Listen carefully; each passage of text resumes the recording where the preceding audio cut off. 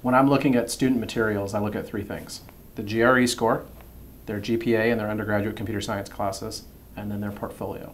So they'll send me in a portfolio, it'll have sometimes wide ranging code samples and sometimes one or two, either which is fine.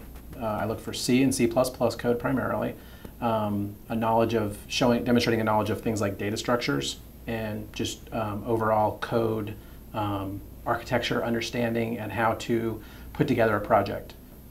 I get some portfolios that'll have a lot of web programming work in it or Java work in it. And while fine, um, I don't really base many decisions on that work. And so I would recommend to the students to just submit their best C and C++ work, even if they have more of the other types. I would, I would uh, stick to the C and C++. Probably the most successful candidates take their class projects from undergraduate computer science, save them, and then circle back and do a, a comment pass on them, and then zip them up and send them to me. Normally it's between three and six projects. A lot of times they'll have to do with graphics, maybe some simple games and things like that, but demonstrating a knowledge of how to put the code together